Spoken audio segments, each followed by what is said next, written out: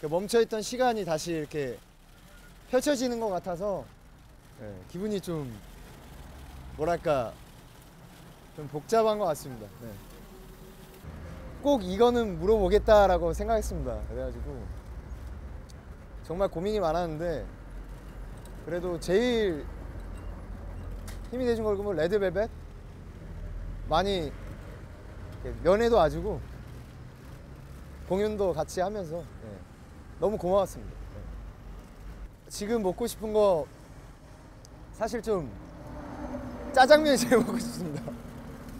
왜냐면은 마지막에 이제 훈련이랑 또 여러 가지 장병들과 많은 추억을 남기면서 또 군인된 모습으로 어, 훈련을 해서 그런지 좀 약간 후- 짜장면이 너무 먹고 싶, 어서 가자마자 짜장면도 먹고 그 다음에 콜라 한 잔 마시고 싶습니다.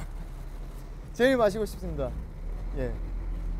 일단은 지금까지 기다려주신 팬 여러분들 예, 보고 싶고 그리고 방금 방금 헤어졌는데 26사단 장병들이 또 보고 싶습니다. 그만큼 정말 군생활 재밌게 했고 마지막까지 이렇게 울어주고 또 많은 간부님들뿐만 아니라 정말 멋있게 재밌게 또 윤호스럽게 예, 군생활 했던 것 같습니다. 네.